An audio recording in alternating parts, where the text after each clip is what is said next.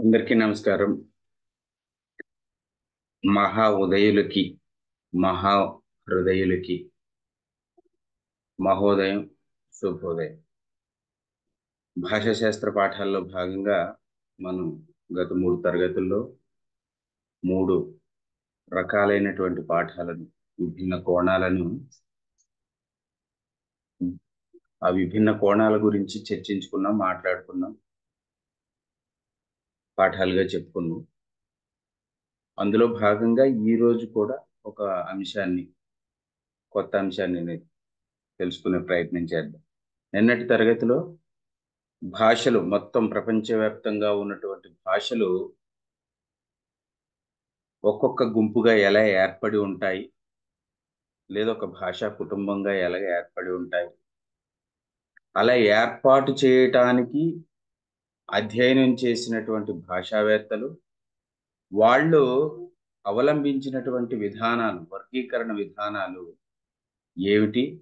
అందులో ఉపవిభాగాలు ఏమిటి అవి ఎలా ఉన్నాయని కూలంకషంగా చర్చించుకున్నాం. దాని ద్వారా కలిగే లాభాలు ఏమిటి భాషావేత్తలకు కలిగేటువంటి లాభాలు ఏమిటి భాషలకు అనుకూలేటువంటి లాభాలు ఏమిటి అని కూడా మనం చర్చించుకున్నాం.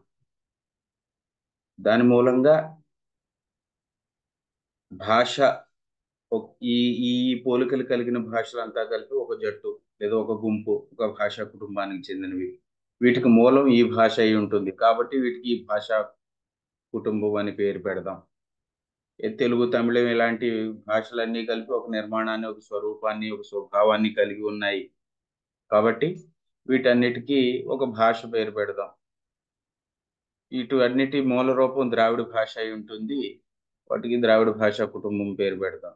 సంస్కృతం లాటిన్ గ్రీక్ ఇరానియన్ ఇటాలిక్ ఇట్లాంటి భాషలన్నిటికీ మాతృక ఒక భాష అయి ఉంటుంది.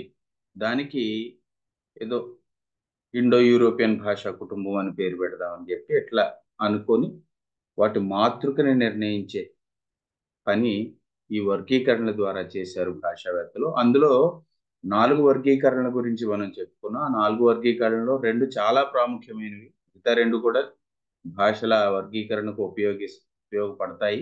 కానీ రెండు చాలా ఇంపార్టెంట్ అవి morphological classification and genealogical classifications అని చెప్పుకున్నాం అందులో మళ్ళీ ఉపవిభాగాలు కూడా చెప్పాం అలా అయితే ఈ జెనియోలాజికల్ క్లాసిఫికేషన్లో ఉండేటువంటి నాలుగు రకాల విధానాలను దృష్టిలో పెట్టుకొని అంటే మార్ఫలాజికల్ క్లాసిఫికేషన్ కంటే కూడా జెనియోలాజికల్ క్లా క్లాసిఫికేషన్ మూలంగానే ఎక్కువ ప్రయోజనం ఉండవచ్చు అని చెప్పి గ్రే అనేటువంటి భాషావేత్త ఈ జెన్యులాజికల్ అంటే జననాత్మక జన్మాత్మక లేదా జాత్యాశ్రిత వంశానుగుణ లేదా పుట్టుకకు సంబంధించిన ఇలా ఏదైనా అనుకోవచ్చు. సంబంధించిన భాషల వర్గీకరణ.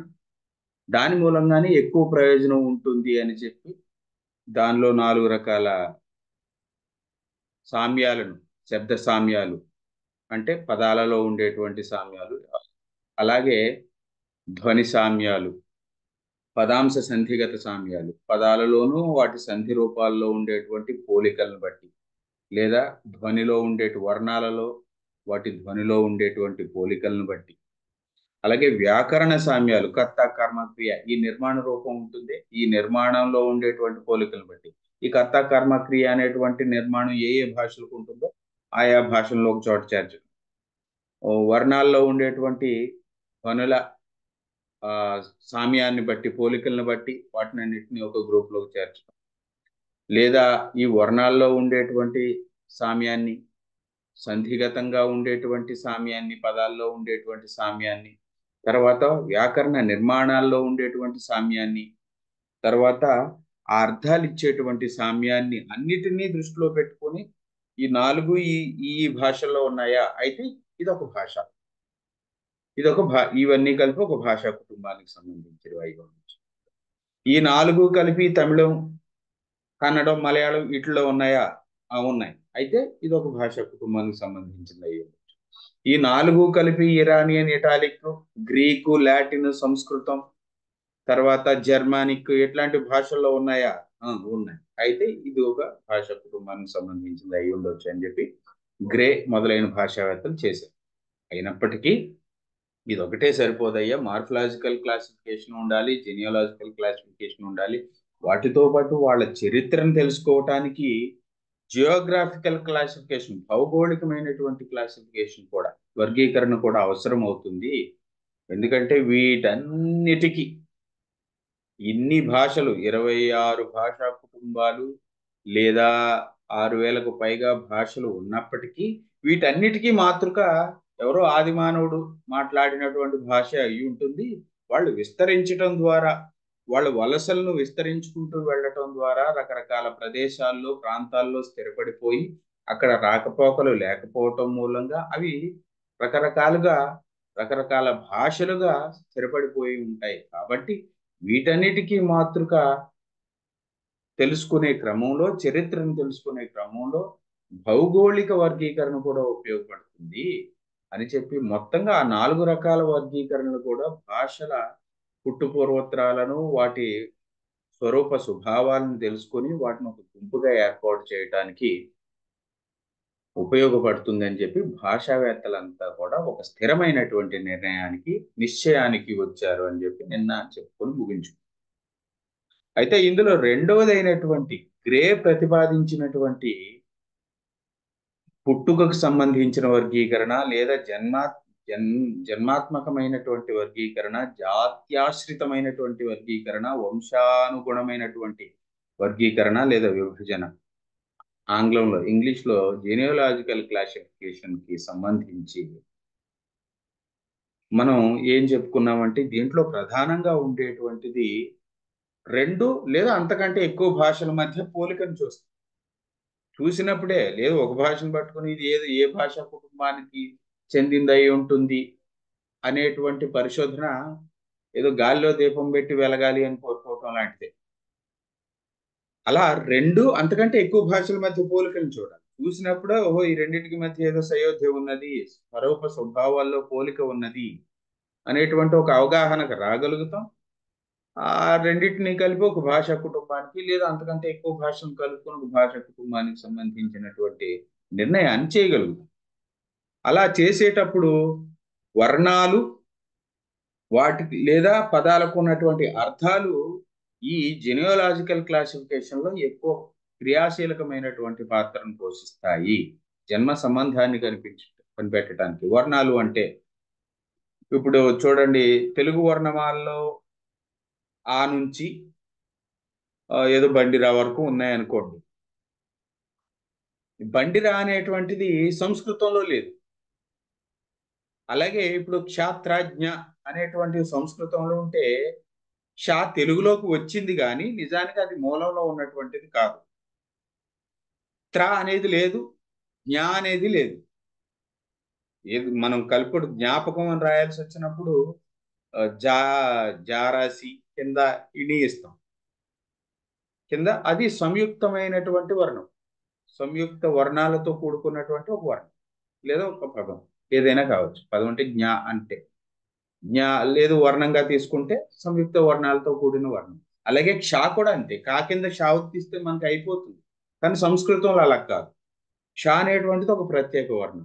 ట్రా అనేటువంటిది ఒక ప్రత్యేక వర్ణం. మనం ఒకవేళ తెలుగులో తీసుకుంటే తా కింద రావర్తిస్తే అయిపోతుంది. ఈ రెండు. ఇప్పుడు తెలుగులో కూడా అచ్చుల్లో అం అహ ఉన్నాయి. నిజానికి అవి కూడా సంయుక్త వర్ణాలే. అయితే తెలుగుకు ఉన్నటువంటి గొప్పతనం ఏంటంటే సున్నా అరసున్నా సున్నా విసర్గ అన్నమాట అవి విడిగా ప్రవర్తిల్లలేవు కాబట్టి వాటికి ముందు ఆని చేర్చాము. అందుకే అమ్మ అయింది అది. సున్నాకు ముందు ఆ చేర్చాం. పలకలేం కాబట్టి దాన్ని ఎలా పలకాలో తెలియదు. అలాగే విసర్గకు ముందు ఆని చేర్చాం. ఆహా అవుతుంది. ఎందుకు ఆని చేర్చామంటే పలకటానికి ఇబ్బంది లేకుండా ఉండటం కోసం. అందుకే నే నా లా ఇలాంటి వర్ణాలను తెలుగులో పలకలేము పలుకుతాకి ఇబ్బంది అవుతుంది కాబట్టి దాని ముందు కూడా ఆని చేర్చి లేదా ఈని చేర్చి ఇన్య ఇణి అళ ఆణ అని పలుకుతాము. సో ఇలాగా ఈ ఇలాంటి వర్ణాల మధ్య పోలికలు కనుక ఉంటే ఓకే ఇవి ఒక భాషకు సంబంధించినవి అయి ఉండొచ్చు. ఈ ఏ ఇవే వర్ణాలు మూల రూపాల్లో కూడా ఉండి ఉండవచ్చు అనేటువంటి ఒక ఆలోచన చేసి ఉంటే గనక ఒక ఇది ఈ మూల రూపాల్లో కూడా ఇలాంటివి కనిపిస్తున్నాయి కాబట్టి వీటికి మూల భాష ఇది ఉండొచ్చు అనేటువంటి ఒక నిర్ణయానికి వస్తారు. సంస్కృతంలో బండిరా లేదు కాబట్టి నిన్న సంస్కృతము కి తెలుగుకి సంబంధం లేదని కొన్ని విషయాలు చెప్పుకున్నాం. అందులో బండిరా కూడా ఎక్కువ ప్రభావితం చూపినటువంటి అంశం. బండిరా ద్రావిడ భాషల్లో నిలదొక్కుని ఉంది. అది మూల రూపం రా వర్ణం అది అనమాట కానీ అరుళ్ మొഴి అని రాస్తామే. అందులో ఉండే రా వర్ణం తెలుగులోకి వచ్చేసరికి బండిరా అయింది. అది సంస్కృతంలో లేదు. వాళ్ళకి సాధురేఖ అంటే రవిచంద్రలో ఉండేటువంటి రా మాత్రమే ఉంది. మనకి శకట రేఖ అంటే బండిరా తెలుగు కూడా ఉంది. అది రాను రాను సాధురేఖ దాన్ని రీప్లేస్ చేసేయటం మూలంగా బండిరా వాడట్లేదు కానీ తెలుగు వాళ్ళకి మాత్రము తెలుగు వర్ణాలకు మాత్రమే సొంతమైన వాటిలో అరసున్న ఒకటి తర్వాత సున్నా కూడా ఇప్పుడు ఆ సంస్కృతంలో రాయాల్సి వస్తే వర్గ పంచమాక్షరాన్ని రాస్తారు సున్నా అని రాయాలి. సంస్కృతంలో రాయాలి కొంగ అని రాయాల్సి వస్తే ఇన్ అని రాసి కింద గా రాస్తారు సంస్కృతంలో. పూర్వం తెలుగులో కూడా అలాగే ఉండేది కానీ సున్నా ఎప్పుడైతే ఉందో అప్పుడు మనకి ఇప్పుడు శబ్దం అని రాయాలి అనుకోండి అని రాస్తారు సంస్కృతం. మనం సున్నా పెట్టుకుంటాం. అలాగా అరసున్నా సున్నా తర్వాత బండిరా ఇలాంటి వర్ణాలు తెలుగు మాత్రం ప్రత్యేకమైనటువంటి వర్ణం వాటిని పోగొట్టుకుంటున్నంత మనం దురదృష్టవశాత్తు అది వేరే విషయం అనుకుంటాం. ఇక అలాంటి వర్ణాలు అర్థాలకు మధ్య ఉండేటువంటి సామ్యాలు. ఇప్పుడు దశ ఉందనుకోండి దాన్ని ఇంగ్లీష్లో టెన్ అని గ్రీక్ ఇట్లాంటి వాటిలో దశ అని జెనో అని ఇట్లాంటి ఏవో పదాలు.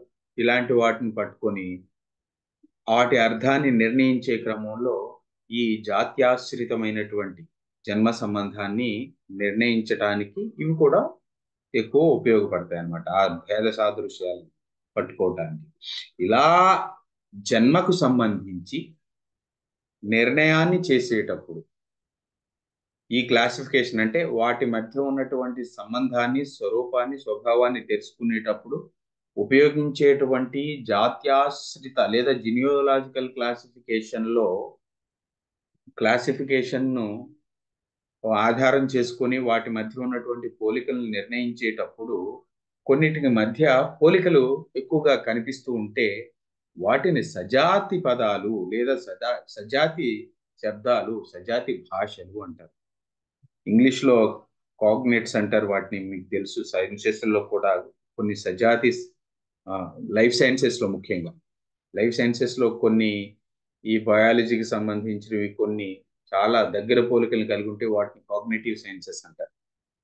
అలాగే ఇక్కడ కూడా శబ్దాల్లో కానీ లేదా భాషల్లో కానీ పోలికలు ఉంటే శబ్దాల్లో ఉంటే సజాతి శబ్దాలు కాగ్నేటివ్ సౌండ్స్ అని లేదా కాగ్నేటివ్ వర్డ్స్ అని భాషల్లో గనక ఒకదానికి ఒకటి సంబంధం ఉంటే వాటిని కాగ్నేటివ్ లాంగ్వేజెస్ అని కానీ పిలుస్తారు.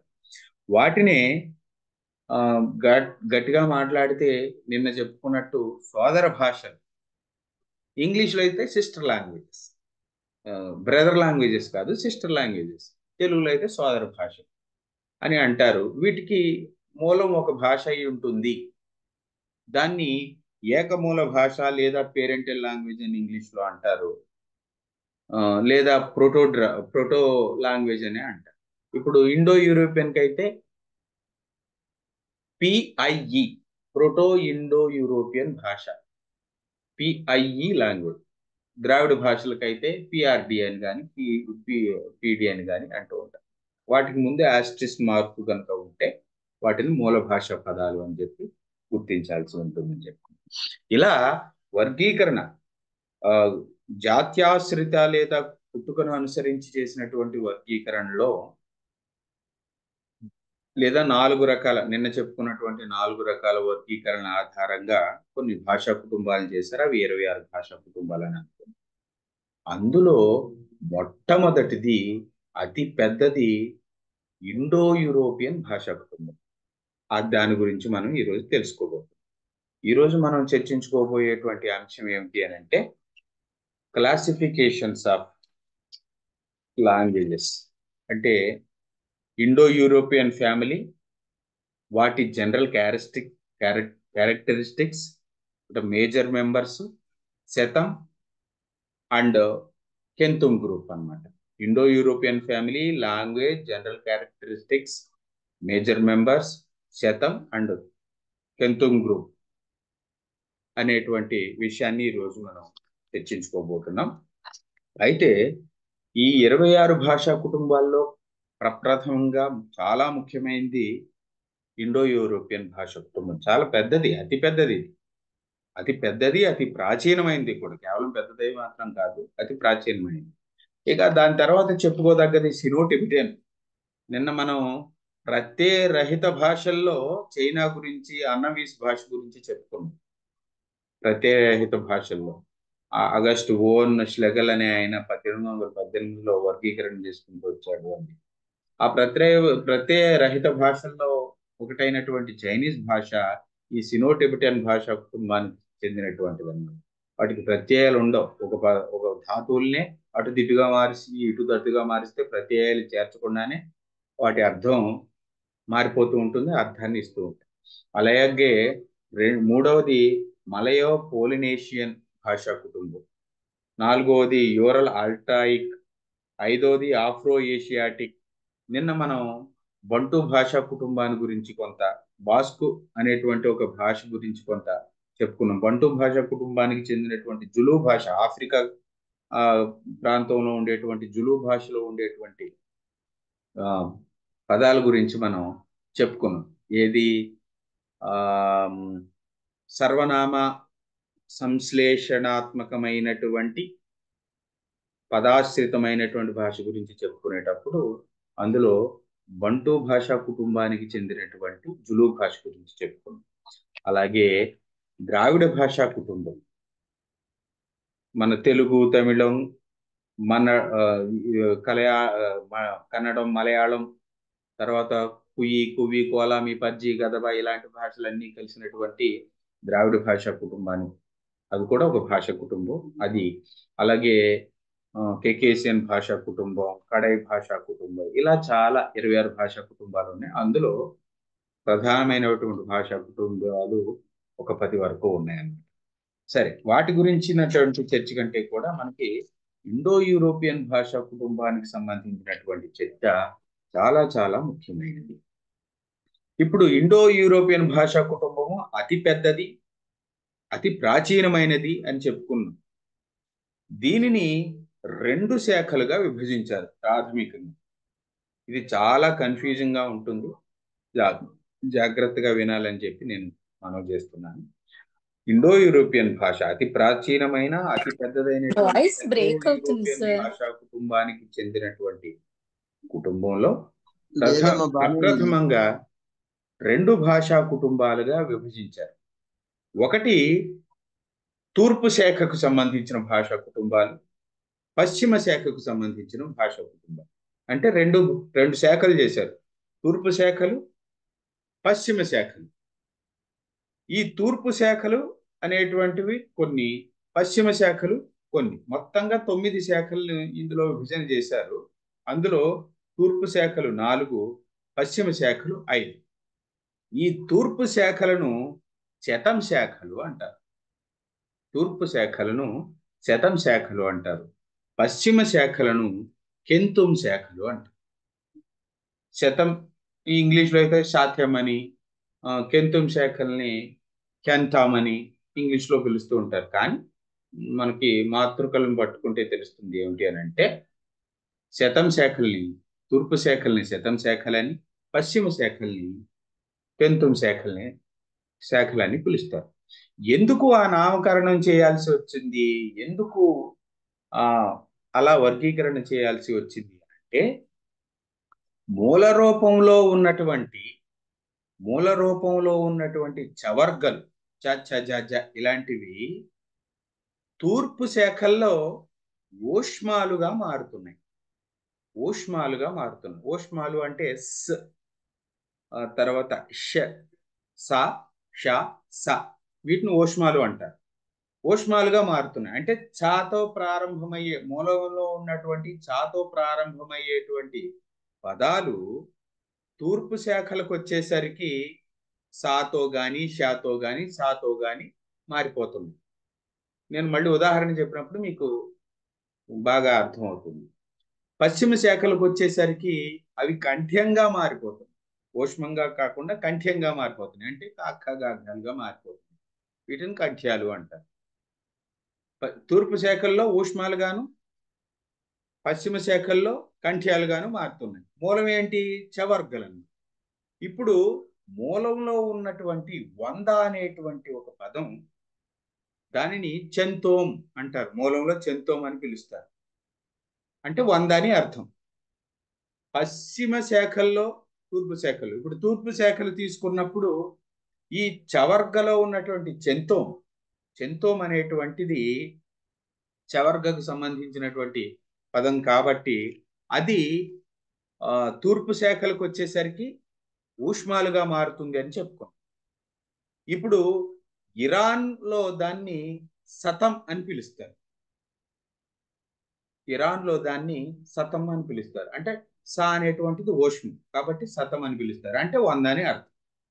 సంస్కృతంలో దీన్ని శతం అని పిలుస్తారు. శతం అని పిలుస్తారు.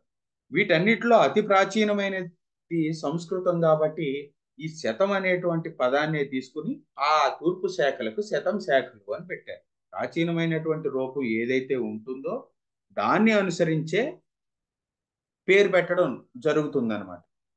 ఉదాహరణకు ఈ తూర్పు శాఖల్లో అతి ప్రాచీనమైనటువంటిది ఇండో ఆర్యన్ భాషా కుటుంబం నిజానికి. అయితే అందులో సంస్కృతం చాలా ముఖ్యమైనది అతి ప్రాచీనమైనది. నిజానికి అందులో సంస్కృతంలో ఉన్నటువంటి ఋగ్వేద భాష మిగతా భాషలన్నిటికంటే కూడా గ్రీకు లాటిన్ భాషలన్నిటికంటే కూడా మనవాళ్ళు లేదా భాషావేత్తలు కానీ ముఖ్యంగా ముఖ్యంగా ముఖ్యంగా ఈ ఈ ఫిలాసఫీకి సంబంధించినటువంటి తత్వశాస్త్రానికి సంబంధించినటువంటి తత్వవేత్తలు ఏం చెప్తారు అంటే గ్రీక్ లాటిన్ భాష కానీ లేదా గ్రీక్ లాటిన్లో ఉన్నటువంటి తత్వం కానీ అన్నిటికంటే ప్రాచీనమైంది అని చెప్తారు. అన్నిటికంటే ప్రాచీనమైంది అని చెప్తారు. అరిస్టాటిలు ఆయన కంటే ముందు ఆయన కంటే గురువు ఆయన గురువు అయినటువంటి అరిస్టాటిల్ శిష్యుడు మనకు తెలుసు. ఆయన అరిస్టాటిల్ గురువు ప్లేటో. ప్లేటో కంటే ముందు ఇంకా చాలామంది తత్వవేత్తలు ఉన్నారు. ఇలా చాలామంది ఆ అరిస్టాటిల్ శిష్యుడు మనకి అలెగ్జాండర్. ఇలా చాలామంది తత్వవేత్తలు మనకి గ్రీకు లాటిన్లో కనిపిస్తూ ఉన్నారు. ఇవి చాలా పూర్వమైనవి కాబట్టి ఇవి మిగతా భాషలన్నిటికంటే మిగతా భాషల్లో ఉన్నటువంటి తత్వానికంటే కూడా ప్రాచీనమైనది అని చెప్తూ ఉంటారు. కానీ వాటికంటే చాలా ప్రాచీనమైనది భాష దృష్టిలో కానీ తత్వం దృష్టిలో కానీ భారతీయ భాషల్లోనూ ముఖ్యంగా అందులో ఒకటైనటువంటి సంస్కృత భాషలలో మనకి తత్వం కానీ ఆ భాష కానీ లేదా అందులో ఉన్న ఉన్నటువంటి గ్రంథాలు కానీ కనిపిస్తూ ఉంటాయి. అయితే కానీ ఏమవుతుంది అని అంటే దురదృష్టవశాత్తు వాళ్ళు చెప్పటం మనం వినటం మూలంగా అవే గ్రీకు లాటిన్ భాషలు కానీ లేదా అందులో అందులో ఉన్నటువంటి శాస్త్రాలు కానీ అందులో ఉన్నటువంటి గ్రంథాలు కానీ చాలా ప్రాచీనమైనవి అని చెప్తూ ఉంటారు. భాష కూడా ప్రాచీనమైనది అని చెప్తూ ఉంటారు. కానీ కాదు. అయితే అయితే ఈ మాక్స్ ముల్లర్ అనేటువంటి ఒక మహానుభావుడు ఈ ఋగ్వేదం అనేటువంటిది గ్రీకు లాటిన్ భాషల కంటే కూడా పూర్వం చాలా ప్రాచీనమైనది. గ్రీక్ లాటిన్ భాషలో ఉన్నటువంటి తత్వానికి సాహిత్యానికి అంటే కూడా చాలా ప్రాచీనమైనటువంటి సాహిత్యం సంస్కృత భాషలో ఉంది. కాబట్టి దీన్ని సంస్కృత భాషా కుటుంబం అని పేరు పెడదాము అని అనుకున్నాం మరి సంస్కృత భాషా కుటుంబం అని పెడితే ఎలా ఉంటుంది? సరిపోతుందా అని చెప్పి ఇంకా కొంత పరిశోధన చేసిన తర్వాత దీనికంటే ముందు ఆర్య ఇండో ఆర్యన్ భాషా కుటుంబం ఏదో ఉంది దీనికి. ఈ ఇండో ఆర్యన్ భాషా కుటుంబం అనే పేరు పెడదాం అనుకున్నాడు మళ్ళీ అక్కడ ఆయనకి క్లాష్ వచ్చేసి ఇరానియన్ ఇట్లాంటి భాషలు కూడా వాటితో మిళితమై ఉండటం వాటికి కూడా ప్రాచీనత ఉండటం మూలంగా కాదు కాదు ఇలా కాదు. వీటిని వీటన్నిటికీ కలిపి మూలం ఏదో యూరోపియన్తో సంబంధం ఉన్నటువంటి జియోగ్రాఫికల్గా చూసుకున్నప్పుడు యూరోపియన్ వాటికి సంబంధించినటువంటి ఐరోపా ఖండాలతో కూడా వీటికి ఏదో అనుబంధం ఉంది. గ్రీకు లాటిన్ ఇట్లాంటి భాషలు కూడా వీటితో కలుస్తున్నాయి. కాబట్టి వీటన్నిటికీ కలిపి మనం ఒక భాషా కుటుంబంగా పేరు పెడదామని చెప్పి ఇండో యూరోపియన్ భాషా కుటుంబం అని చెప్పి మార్క్స్ ముల్లర్ ఇట్లాంటి భాషావేత్తలు దీనికి నామకరణం చేశారన్నమాట. మొట్టమొదట సంస్కృత భాషా కుటుంబం అని పెడదాం అనుకున్నారు. కానీ వీటికి ఆర్యులు అనేటువంటి ఒక ఒక వర్గం వాళ్ళు పండితులు లేదా తెలిసిన వాళ్ళు అనే అర్థంలో ప్రయోగించబడేటువంటి ఆర్య శబ్దంతో సంబంధం ఉన్నటువంటి ఆర్యులు అనేటువంటి ఒక వర్గం వాళ్ళు దీనికంటే ఇంకా కొంచెం ప్రాచీనమైనటువంటి వ్యవస్థను కలిగి ఉండటం. అలాగే ఇరాన్ ఇట్లాంటివి ఇంకా కాస్త ప్రాచీనమైనటువంటి పోలికలను కలిగి ఉండటం వీటితో వాటితో అనుబంధం ఉండటం. అలాగే వీటితో పాటు గ్రీకు లాటిన్ ఇట్లాంటి భాషలు కూడా కాస్త ప్రాచీనతను కలిగి ఉండటం మూలంగా ఈ సంస్కృతం అని పెడదాం అనుకున్న వాళ్ళు ఇండో ఆరియన్ పెడదాం అనుకుని ఇండో ఆరియన్ పెడదాం అనుకున్న వాళ్ళు కాదు కాదు గ్రీకిన్ ఇట్లా గ్రీకు లాటిన్ ఇట్లాంటి భాషలు కూడా ఉన్నాయి కాబట్టి వీటన్నిటికీ కలిపి ఒక నామకరణం చేస్తే బాగుంటుంది అని చెప్పి ఒకదాని తర్వాత ఒకటి ఒకదాని తర్వాత ఒకటి పరిశోధన చేసుకుంటూ వెళ్ళి మొత్తంగా తొమ్మిది భాషా కుటుంబాలుగా ఉన్నటువంటి వీటన్నిటినీ కలుపుకొని వీటన్నిటినీ కలిపి ఒక నామకరణం చేసి ఇండో యూరోపియన్ భాషా కుటుంబం అని చెప్తే దానికి ఇండో యూరోపియన్ భాషా కుటుంబం అని పేరు పెట్టడం దాంట్లో తూర్పు శాఖలను వేరు చేయటం పశ్చిమ శాఖలను వేరు చేయటం వాటిలో తొమ్మిది ఉపవర్గాలు మళ్ళీ వాటిలో ఉప విభాగాలు చేసుకుంటూ వెళ్ళటం ఇలా జరిగిందండి అయితే చెంతోం అనేటువంటి మూల రూపానికి చెందినటువంటి ఆ చవర్గాలకు సంబంధించినటువంటి వంద అనేటువంటి ఒక పదం తూర్పు శాఖలకు వచ్చేసరికి ఊష్మాలుగా మారటం చా అనేటువంటి ఒక వర్ణం తూర్పు శాఖల భాషల్లోకి వచ్చేసరికి ఊష్మాలుగా మార్పు చెందటం. అంటే సా సాలుగా మారు శాలుగా మారటం మూలంగా ఇప్పుడు ఇరాన్లో వంద అనేటువంటిది శతంగాను సంస్కృతంలో శతంగాను పిలువబడటం. ఇందులో సంస్కృతం చాలా ప్రాచీనమైనటువంటిది కావటం వల్ల దానికి శతం గ్రూప్ అని పేరు పెట్టారు. ఈ చవర్గనే పశ్చిమ శాఖలకు వచ్చేసరికి కంఠ్యంగా కాకాగాగాలుగా మారటం మూలంగా వాటికి కెంతుమ్ గ్రూప్ అని పేరు పెట్టారు. Centum group. వీటిలో గ్రీక్ లేదా లాటిన్ ఇలాంటి భాషలు ప్రాచీనమైనవి అతి ప్రాచీనమైనవి అని చెప్పుకున్నాం కాబట్టి లాటిన్లో ఈ చెంతోమ్ని వంద అనేటువంటి పదాన్ని ఈ చవర్గలో ఉన్నటువంటి చా కాగా మారటం మూలంగా కెంతుమ్గా మారింది. దాన్ని కెంతుమ్ అని పిలుస్తారు. లాటిన్లో కెంతుమ్ అంటే వంద. దాని మూల రూపం ఏంటి? చెంతోమ్. ఆ చా ఈ పశ్చిమ శాఖల్లో పశ్చిమ శాఖల్లో ఒకటైనటువంటి లాటిన్లో కెంతుమ్గా పిలువబడుతుంది. అలాగే జర్మన్లో ఖుందుగా పిలువబడుతుంది. అంటే రెండిటికి అర్థం వంద అని వీటిల్లో అతి ప్రాచీనమైనటువంటిది లాటిన్ కాబట్టి ఈ లాటిన్లో ఉన్నటువంటి కెంతుమ్ అనే పదాన్ని తీసుకొచ్చి ఈ వర్గానికి పేరు పెట్టారు. ఇది కెంతుమ్ వర్గం. సంస్కృతం అతి ప్రాచీనమైనటువంటిది కాబట్టి అందులో శతం అనేటువంటి పేరు వందగా పిలువబడుతుంది కాబట్టి దాని శతం గ్రూప్ అని. పశ్చిమ శాఖల్లో లాటిన్ అతి ప్రాచీనమైనటువంటిది కాబట్టి ఈ చెంతోమ్ అనేటువంటి వంద అనేటువంటి పదం కెంతుమ్గా పిలువబడుతుంది కాబట్టి వీటిని కెంతుమ్ శాఖలు అని చెప్పి విభాగం చేశారన్నమాట. తూర్పు శాఖల్ని శతం శాఖలని పశ్చిమ శాఖల్ని కెంతుమ్ శాఖలని అంటారు. ఈ కెంతుమ్ అనే పదం లాటిన్ పదం ఇక్కడ తూర్పు శాఖల్లో శతం అనేటువంటి పదం సంస్కృత పదం. ఎందుకు అంటే ఇవి ప్రాచీనమైనటువంటి రూపాలు కాబట్టి. ఏదైతే ఓల్డెస్ట్ అయి ఉంటుందో దాన్ని దానికి పేరు పెడతారు. ఇంకా అంతకు మించి లేదు అన్నప్పుడు ఇంకా ఇది ఏం పేరు పెట్టడానికి అవకాశం లేదు. కొత్తగా వచ్చిన వాటి పేరు పెట్టరు. ప్రాచీనమైనటువంటి వాటి పేర్లే పెడతారు. అలాగే. అలా చూసినప్పుడు ఈ వర్గాలు రెండు వర్గాలుగా విభజించబడ్డాయి. ఈ రెండు వర్గాలను కూడా మళ్ళీ తొమ్మిది ఉపవర్గాలుగా విభజించారు. మొత్తం తూర్పు శాఖలను నాలుగుగా అంటే శతం శాఖలను నాలుగు భాషా కుటుంబాలుగా ఉప భాషా కుటుంబాలు అనుకోండి. పశ్చిమ శాఖలను ఐదు భాషా కుటుంబాలుగా మొత్తంగా తొమ్మిది భాషా కుటుంబాలుగా విభజించారు. ఇందులో ఇండో యూరోపియన్ భాషా కుటుంబాల్లో తొమ్మిది శాఖలను లేదా తొమ్మిది వర్గాలను విభజించారు. అందులో మొట్టమొదటిది ఇండో యూరో ఇండో ఇరానియన్ శాఖ. ఇండో యూరోపియన్ భాషా శాఖలను రెండుగా చేస్తే తూర్పు శాఖలు పశ్చిమ శాఖలని వాటిని తూర్పు శాఖలను శతం శాఖలు అంటారు పశ్చిమ శాఖలను కెంటుం శాఖలు అంటారు కెంటుం శాఖలు అంటారు తూర్పు శాఖల్లో నాలుగు పశ్చిమ శాఖల్లో ఐదు. మొత్తం తొమ్మిది. అందులో మొట్టమొదటిది తూర్పు శాఖల్లో లేదా శతం శాఖల్లో మొట్టమొదటిది ఏమిటి అంటే ఇండో ఇరానియన్ శాఖ.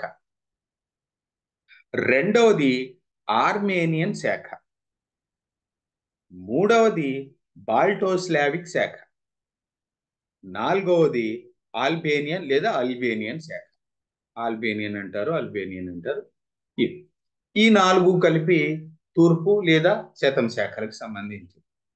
ఇక పశ్చిమ శాఖల్లో జర్మానిక్ శాఖ కెల్టిక్ శాఖ రొమానియన్ లేదా ఇటాలియన్ ఇటాలిక్ శాఖ రొమానియన్ లేదా ఇటాలిక్ శాఖ.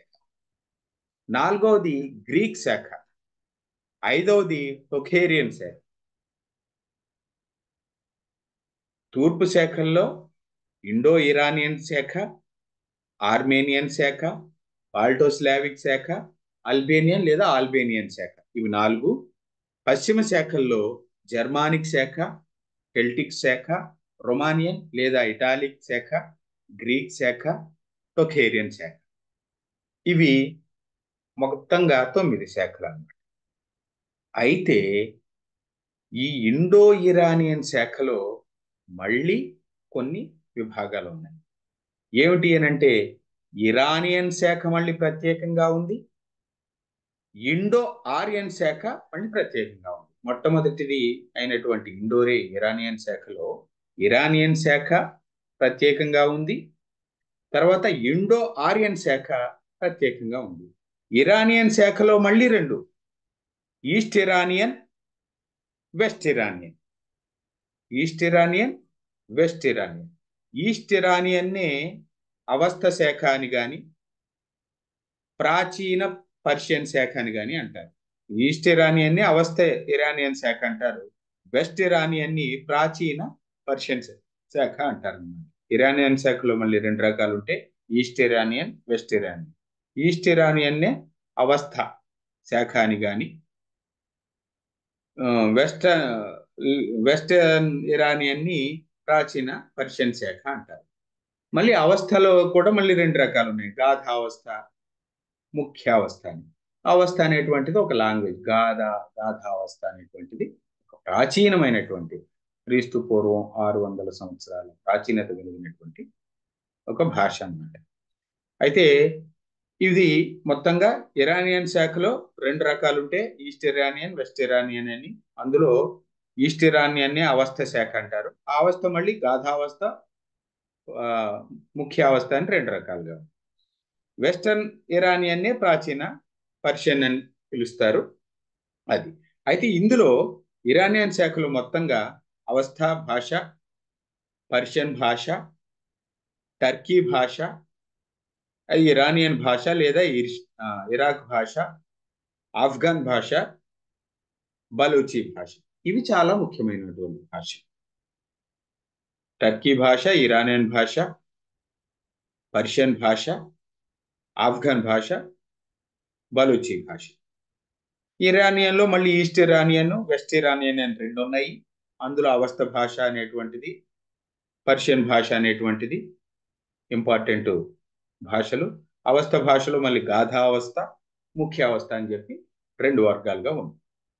ఇక ఇండో ఆరియన్ భాషా కుటుంబానికి వచ్చేసరికి సంస్కృతం చాలా ప్రాచీనమైన చాలా ముఖ్యమైనటువంటి భాష. ఇది ఇండో ఆరియన్ భాషా కుటుంబానికి చెందినది. అలాగే ఈ సంస్కృతాన్ని అనుసరి అనుసరించి లేదా సంస్కృతం ద్వారా పుట్టినటువంటి భాషలు హిందీ ఉర్దూ పంజాబీ బెంగాలీ అస్సామీ ఒడియా మరాఠీ ఇత్యాది భాషలన్నీ కూడా ఈ ఇండో ఆరియన్ భాషా కుటుంబానికి సంబంధించినటువంటి భాషలు. ఇది ఇండో ఆరియన్ భాషా కుటుంబానికి చెందిన ఒక భాష. వెరసి ఇండో ఇరానియన్ శాఖకు చెందినది.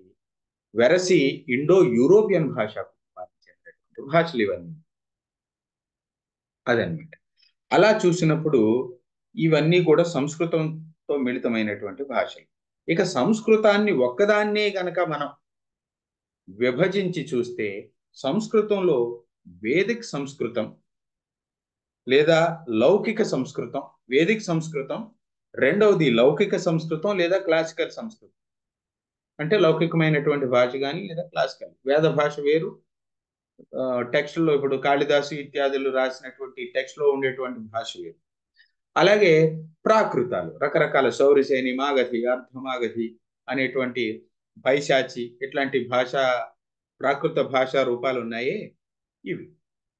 ఇలాంటి రూపాలు సంస్కృత భాష నుంచి మనం మూడు రకాలుగా విభజించవచ్చు. వేద సంస్కృతం లౌకిక సంస్కృతం లేదా క్లాసికల్ సంస్కృతం లేదా ప్రాకృత అయితే ఈ ఇందాక చెప్పినటువంటి మ్యాథ్స్ ముల్లర్కి ఉపయోగపడినటువంటి అధ్యయనానికి ఉపయోగపడినటువంటి భాషల్లో వేదిక్ సంస్కృతం అందులో కూడా ఋగ్వేదానికి సంస్కృత ఋగ్వేద సంస్కృతంలో ఉన్నటువంటి భాష చాలా ఉపయోగపడింది. దాని ద్వారా ప్రారంభించినటువంటి పరిశోధన తరువాత ఇండో ఆర్యో ఇండో ఆర్యన్ భాషా కుటుంబంగా నామకరణం చేయడానికి కాదు కాదు దీనికంటే కూడా ఇంకా ప్రాచీనమైనది ఏదో ఉంది అని చెప్పి ఇంకా ముందుకు వెళ్ళడానికి. లేదు గ్రీకు ఇట్లాంటి భాషలకు కూడా పోలికలు కనపడుతున్నాయి. ఇలా కాబట్టి వీటన్నిటికీ కలిపి ఒక భాషా కుటుంబంగా పేరు పెడదామని చెప్పి ప్రయత్నం చేయటానికి ప్రాథమికంగా ఆ మార్క్స్ ముల్లర్ అనేటువంటి భాషావేత్తకు సహకరించినటువంటి భాష వేద వేదిక సంస్కృతం. అందులో కూడా ఋగ్వేద భాష. అయితే జాగ్రత్తగా గమనించినట్లయితే గాథ అవేస్థ ఇందాక మనం చెప్పుకున్నామే అవస్థలో ఉన్నటువంటి అవస్థ లేదా అవేస్థగా పిలువబడుతున్నటువంటి ఇరానియన్ భాషకు చెందినటువంటి భాషా కుటుంబంలో గాథావస్థ అనేటువంటి లేదా గాథావేస్థ అనేటువంటి భాషకు సంస్కృత భాషకు చాలా మతం విషయంలో కానీ భాష విషయంలో కానీ నిర్మాణం విషయంలో కానీ గ్రంథాల విషయంలో కానీ చరిత్ర విషయంలో కానీ చాలా దగ్గర పోలికలు ఉన్నాయి. అతి ప్రాచీనతను బట్టి చరిత్ర మతాన్ని బట్టి నిర్మాణాన్ని బట్టి సంస్కృతాన్ని బట్టి సంస్కృతిని బట్టి. అలాగే ఇందులో కూడా అవేస్తాలో కూడా గాథా అవేస్తలో చాలా ప్రాచీనమైనటువంటి గ్రంథాలు రచించబడ్డాయి. అలాగే సంస్కృతంలో కూడా చాలా ప్రాచీన గ్రంథాలు రచించబడ్డాయి. అలాగా గాథా అవేస్తాకు సంస్కృత భాషకు చాలా దగ్గర సంబంధాలు ఉన్నాయి. అలాగే సంస్కృతానికి లాటిన్ భాషకు చాలా దగ్గర సంబంధం ఏ రో ఎలా మతం విషయంలో కానీ నిర్మాణం విషయంలో కానీ సంస్కృత విషయం సంస్కృతి విషయంలో కానీ భాషల విషయంలో కానీ గ్రంథాల విషయంలో కానీ నిర్మాణ విషయానికి వచ్చేసరికి నిన్న మనం సంశ్లేషణాత్మక భాషల వర్గీకరణ విషయంలో ఆ ఏమిటి ఉపసర్గలు విడదీసి చెప్పటానికి భా ధాతువుకి ఉపసర్గలుగా చేరిన లేదా ముందు చేరినటువంటి ప్రిఫిక్సెస్ దాన్ని మనం చెప్పుకుంటే ఉపసర్గలు లేదా ప్రత్యయాలుగా చేరినటువంటి సంసర్గలు లేదా ప్రత్యయాలుగా చేరినటువంటి ధాతువుకు చేరేటువంటి ఉపసర్గల విషయంలోను ప్రత్యయాలుగా చేరేటువంటి విషయాల్లోనూ విడదీయడానికి వీలు లేనటువంటి నిర్మాణాన్ని కలిగి ఉన్నటువంటి భాషల్లో సంస్కృతం చాలా ప్రాముఖ్యమైంది అని చెప్పుకున్నాం. అలా ఆ నిర్మాణాన్ని కలిగి ఉన్నటువంటి భాషల్లో గ్రీకు లాటిన్ కూడా ఉన్నాయి. కాబట్టి ఈ గ్రీకు లాటిన్ భాషలకు సంస్కృతానికి చాలా దగ్గర సంబంధం ఉంది. అలా సంస్కృతానికి లాటిన్ భాషకు నిర్మాణం విషయంలో కూడా అంటే సంశ్లేషణాత్మకంగా విడదీయడానికి ఇది ఉపసర్గ లేదా ఇది ధాతువు లేదా ఇది ధాతువు ఇది ప్రత్యయం లేదా ఇది పదము ఇది ప్రత్యయం ఇది ప్రకృతి ఇది ప్రత్యయం ప్రత్యయం అని విడదీయడానికి వీలు లేకుండా ఉన్నటువంటి సంశ్లేషణాత్మక భాషల్లో లాటిన్ గ్రీకు సంస్కృతం కూడా ఉండి నిర్మాణపరమైనటువంటి సంబంధాన్ని కలిగి ఉంది. అలాగే సంస్కృతానికి గ్రీకుకు మధ్య కూడా చాలా దగ్గర సంబంధం ఉంది. ఎట్లా అంటే ఇదిగో మతం విషయంలో నిర్మాణం విషయంలో భాషల విషయంలో గ్రంథాల విషయంలో. గ్రంథాల విషయానికి వచ్చేసరికి హోమర్ అనేటువంటి మహాకవి ఒడిస్సీ ఇలియట్ అనేటువంటి రెండు గొప్ప ఇతిహాసాలను రాశారు. అలా అవి క్రీస్తు పూర్వం వెయ్యి సంవత్సరాల చరిత్రను కలిగినటువంటి ఇతిహాసాలు అవి జాగ్రత్తగా గుర్తుపెట్టుకోవాలి ఇతిహాసాలు.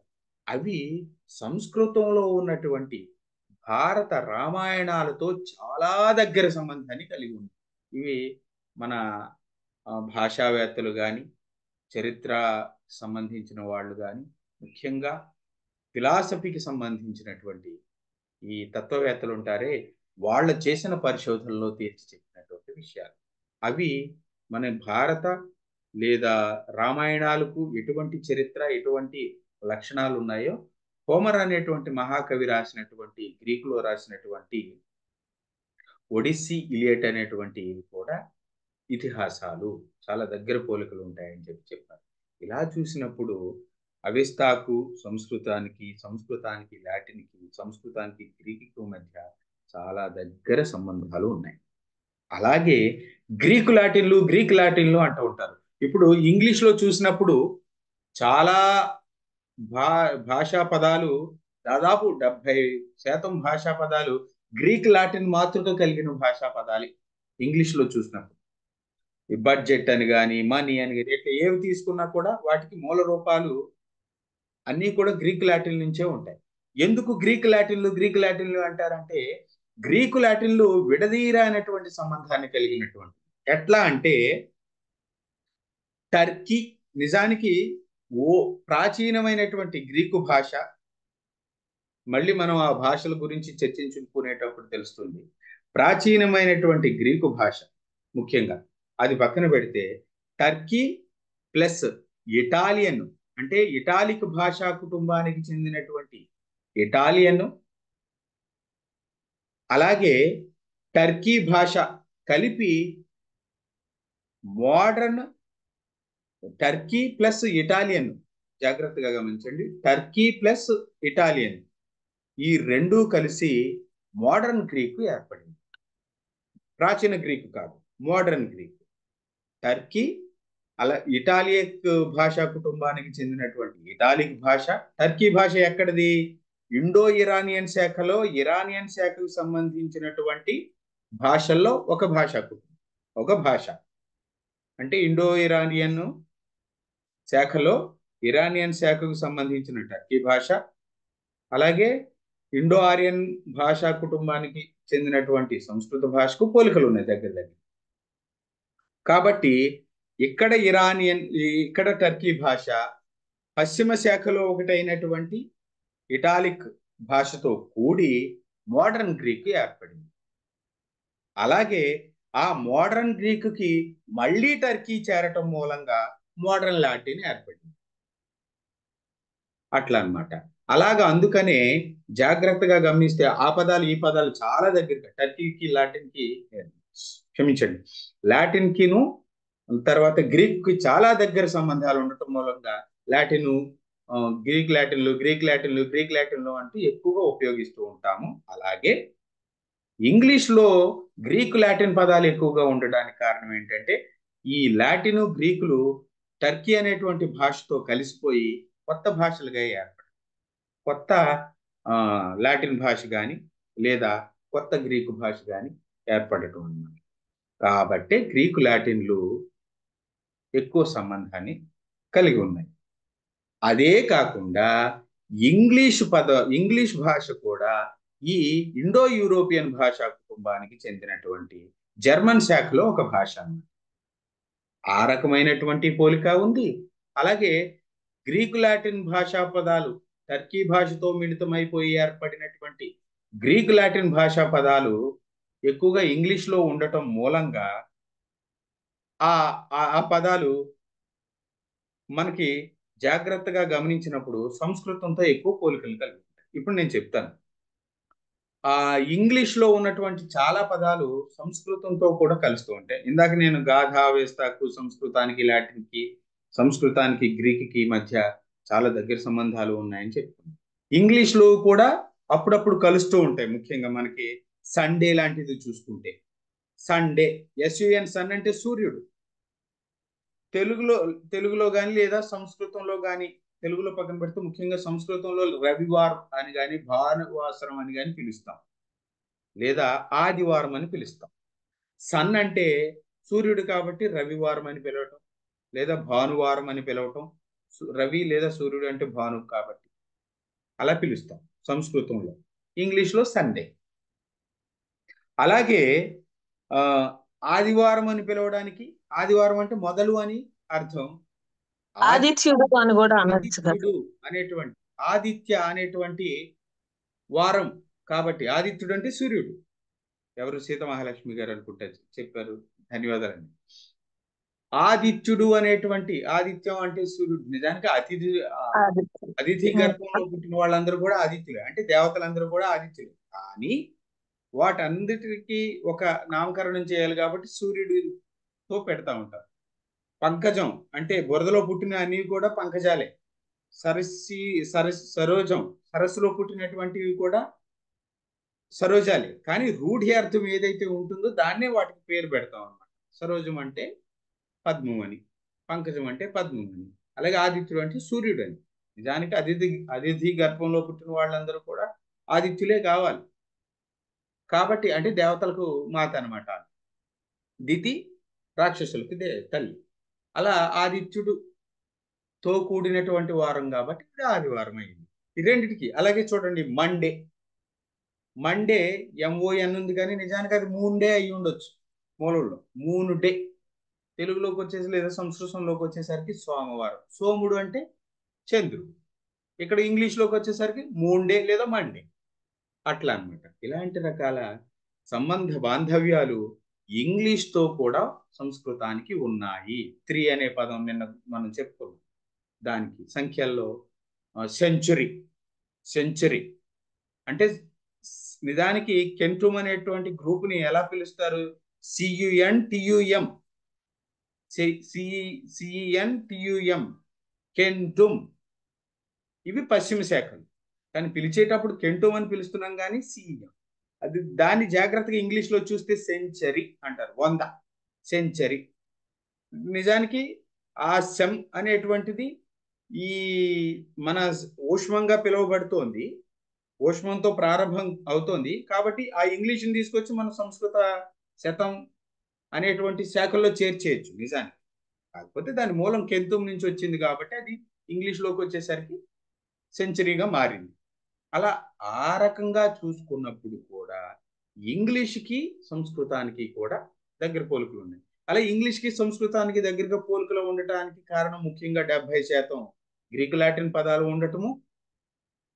అంతేకాకుండా ఇది పశ్చిమ శాఖలో ఒకటైనటువంటి జర్మానిక్ శాఖలో ఇంగ్లీషు తూర్పు శాఖల్లో ఒకటైనటువంటి ఇండో ఆరియన్ భాషల్లో ఒకటైనటువంటి సంస్కృతం. ఇలా ఒకదానికొకటి ఒకటే భాషా కుటుంబానికి చెందినవి కావటం మూలంగా ఒకదానికి ఒకటి పోలికలు ఉన్నాయి.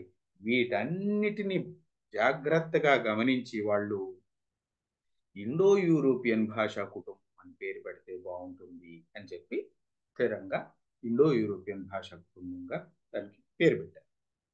అయితే ఇప్పుడు ఇండో యూరోపియన్ భాషా కుటుంబాల్లో ఇండో ఇరానియన్ శాఖ గురించి చెప్పుకున్నాం ఇండో ఇరానియన్ శాఖలో ఇరానియన్ శాఖ ఒక ఉపశాఖ గాను మళ్ళీ ఇండో ఆరియన్ శాఖ ఒక ఉపశాఖ గాను ఇండో ఆరియన్ శాఖలో సంస్కృతం హిందీ ఉర్దూ ఇలాంటి భాషలు ఉన్నాయి. సంస్కృతంలో మళ్ళీ వేదిక్ క్లాసికల్ ప్రాకృతాలు. వేదిక్ సంస్కృతం లేదా లౌకిక సంస్కృతం ప్రాకృతాలు.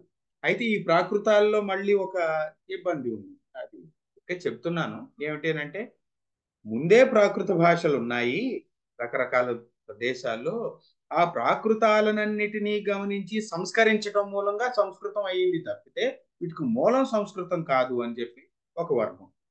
కాదు కాదు సంస్కృత భాషలోని మాండలికాలే రకరకాల మాండలికాలే.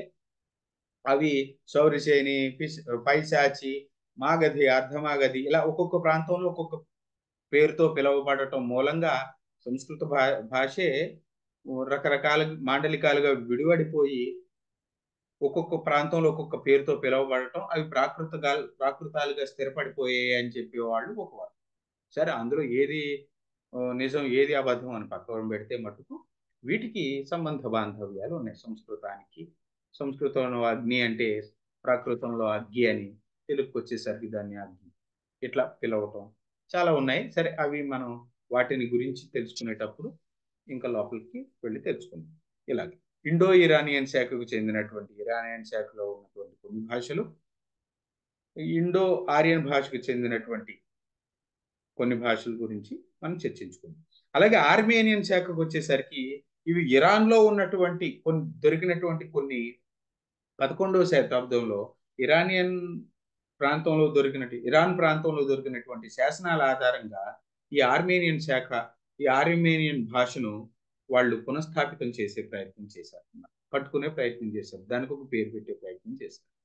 దాదాపు ఇరాన్ ఈ ఆర్మేనియన్ భాషలో దాదాపు రెండు వేలకు పైగా ఇరాన్ పదాలు ఉండటం ఇరానియన్ భాషకి చెందినటువంటి పదాలు ఉండటం మూలంగా ఓకే ఇది ఇరానియన్ ప్రాంతంలో చలామణిలో ఉన్నటువంటి భాష. కాకపోతే దీనికి కూడా ఒక కొన్ని ప్రత్యేకమైనటువంటి లక్షణాలు ఉండటం చేత దీన్ని ఆర్మేనియన్ భాషా కుటుంబానికి చెందినటువంటి భాషగా మనం గుర్తిద్దామని చెప్పి దాన్ని ఆర్మేనియన్ భాషా కుటుంబంగా. ముఖ్యమైనది ఇందులో ఆర్మేనియన్ భాష. ఆ దాన్ని అనుసరించి దానికి ఆర్మేనియన్ భాషా శాఖ అని చెప్పి పేరు పెట్టారు. అలాగే మూడవదైనటువంటి బాల్టోస్లావిక్ బాల్టోస్లావిక్. ఇందులో రష్యను ఉక్రేనియన్ పోలిష్ ఈ రష్యన్ ఉక్రెయిన్ అనేసరికి ఇటీవల జరిగినటువంటి యుద్ధాలు కూడా గుర్తు వస్తుంటాయి. వీళ్ళకి మధ్య పడక ఏదో ఇలా జరుగుతూ వచ్చాయన్నమాట సరే. అయితే రష్యను ఉక్రేనియన్ పోలిష్ ఇట్లాంటి భాషలు ఈ బాల్టోస్లావిక్ భాషా కుటుంబంలో చాలా ప్రాథమిక ప్రాముఖ్యమైనటువంటి భాషలు. అయితే ఈ రష్యను గ్రేట్ రష్యన్ అని వైట్ రష్యన్ అని లిటిల్ రష్యన్ అని ఇలా రకరకాలుగా విభజించబడింది.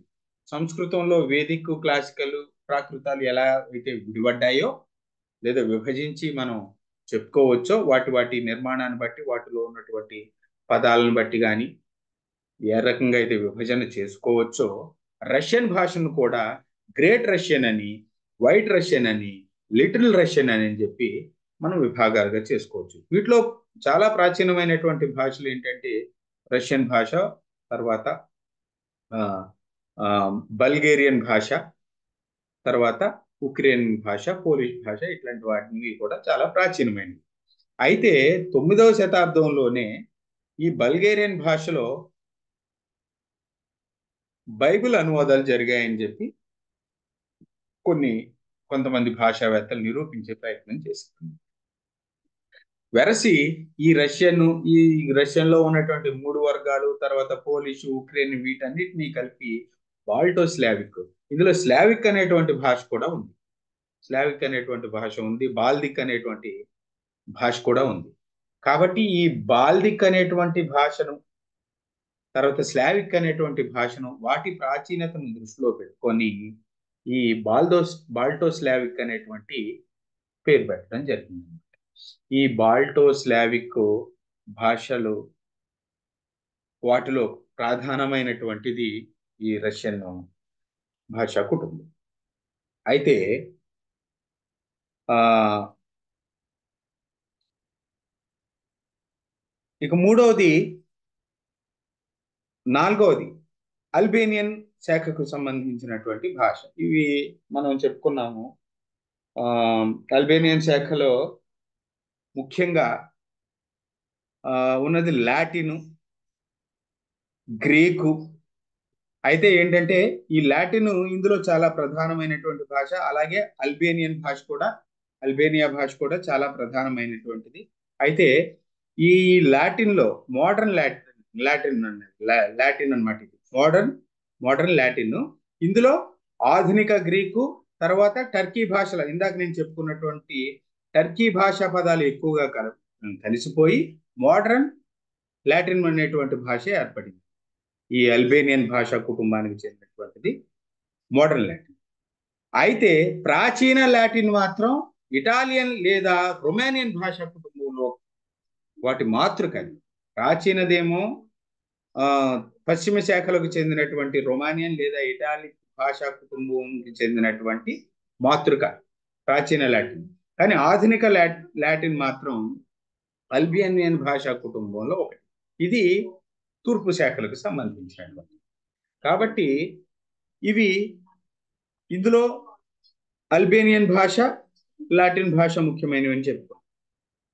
అలాగే తరువాత ఇవి నాలుగు కలిపి తూర్పు శాఖలుగా పిలువబడుతూ ఉన్నాయి. ఈ నాలుగు తూర్పు శాఖలుగా పిలువబడుతూ ఉన్నాయి. అయితే ఇందులో మనకి ముఖ్యంగా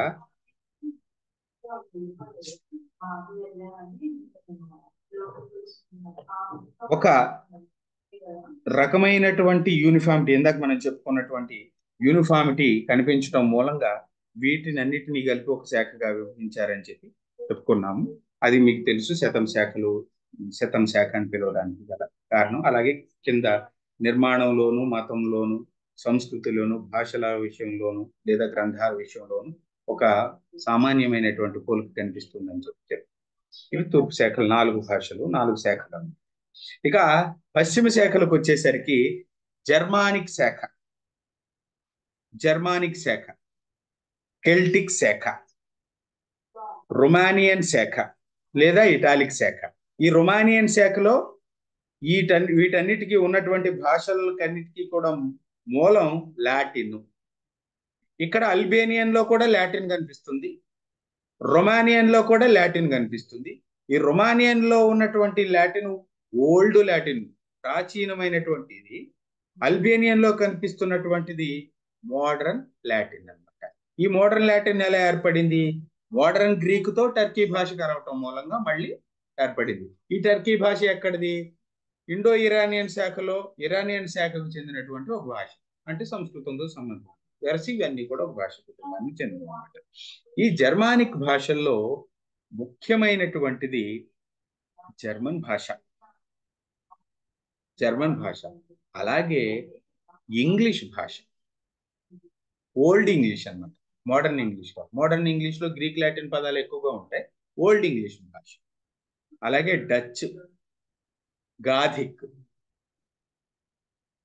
జర్మన్ భాష ఇంగ్లీషు పూర్వం ఇంగ్లీషు ప్రాచీన ఇంగ్లీష్ భాష డచ్ భాష గాధిక్ భాష. ఇవి నాలుగు కూడా చాలా చాలా ప్రాచీనమైనటువంటి భాషలు. అయితే ఇందులో ఇంగ్లీష్ భాషలో గ్రీకు లాటిన్ పదాలు ఎక్కువగా కలిసిపోయి మోడర్న్ ఇంగ్లీష్ ఏర్పడి అది వేరే విషయం. అయితే ఇంగ్లీషు డచ్ జర్మను గాథిక్ భాషల్లో జర్మన్ భాష చాలా ప్రాచీనమైనది కావటం చేత దీనికి జర్మానిక్ శాఖ అని చెప్పి పేరు పెట్టారు. ఈ జర్మానిక్ శాఖలో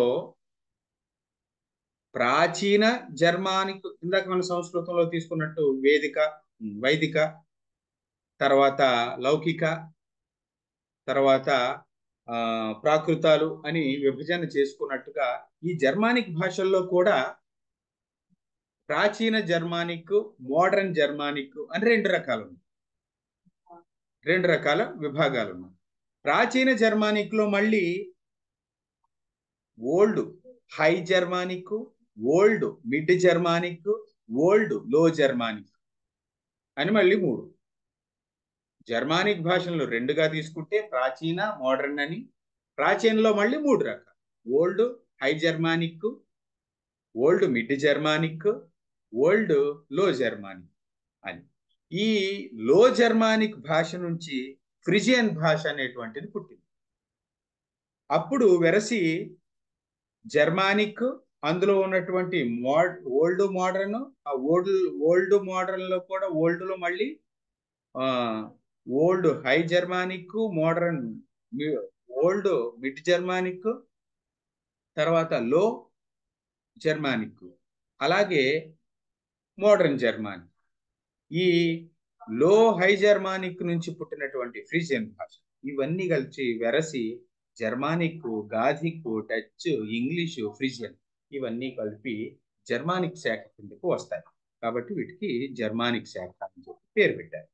అలాగే కెల్టిక్ శాఖకు వస్తే రెండవదైనటువంటి పశ్చిమ శాఖ లేదా కెంతుం శాఖలో రెండవది అయినటువంటి కెల్టిక్ శాఖకు వస్తే Briton Welsh Irish Scots Gaelic అనేటువంటి బ్రిటానిక్ ఇలాంటి భాషలన్నీ కూడా ఇందులో ఉన్నాయన్నమాట. దాన్ని బ్రిటానిక్ బ్రిటన్ అని చెప్తారు. దాన్ని ఇవన్నీ కూడా ఇందులో ప్రాచీన భాషలు. ఇవన్నీ కూడా నార్త్ వెస్ట్ లోను స్కాట్లాండ్ లోను వెస్ట్ ఐర్లాండ్ లోను వేల్స్ ప్రాంతాల్లో వాడుకలో ఉన్నటువంటి భాషలు ఇవన్నీ. Briton Welsh Irish Scots Gaelic ఇలాంటి భాషలన్నీ కూడా కెల్టిక్ శాఖకు సంబంధించినటువంటి భాషలు. అలాగే రొమానియన్ లేదా ఇటాలిక్ భాషా కుటుంబానికి వచ్చినప్పుడు భాషా శాఖకు వచ్చినప్పుడు ఇందులో వీటన్నిటికీ మాతృక లాటిన్ ఓల్డ్ లాటిన్ భాష. అయితే ఇందులో మాత్రం చాలా ప్రాచీనమైనటువంటి భాష ఇటాలియన్ భాష. ఇది పశ్చిమ శాఖకు సంబంధించిన భాష. పశ్చిమ శాఖకు సంబంధించిన చాలా చాలా జాగ్రత్తగా చెప్పి నేను స్ట్రెస్ చేసి చెప్తున్నాను అనుకోండి ఇది పశ్చిమ శాఖకు సంబంధించినటువంటి భాష. ఈ ఇటాలియన్ లక్షణాలు కలిగినటువంటి భాషే మనకి తూర్పు శాఖల్లో ఉన్నటువంటి భాషల్లో కూడా ఒక భాషకు ఉంది. ఇటాలియన్ భాష అచ్చులతో అంతమయ్యేటువంటి భాష. ఇక్కడ పశ్చిమంలో కూడా అచ్చులతో అంతమయ్యేటువంటి భాష అచ్చులతో అంతమయ్యేటువంటి భాషను అజంత భాష అంటారు. ఇక్కడ అది పశ్చిమంలో అయితే ఇటాలియన్ భాష తూర్పులో అయితే తెలుగు భాష. అచ్చులతో అంతమయ్యేటువంటి అజంత భాష. అందుకే తెలుగుని ఇటాలియన్ ఆఫ్ ది ఈస్ట్ అని పిలుస్తారు. ఇటాలియన్ ఆఫ్ ది ఈస్ట్ అని పిలవడానికి తెలుగుని కారణం ఏమిటి అని అంటే తూర్పు శాఖల్లో ఒకటి కావటం ఒకటిని తూర్పు శాఖల్లో ద్రావిడ భాష కుటుంబానికి చెందిన ఒకటిని ముఖ్యంగా అచ్చులతో అంతం కావటం.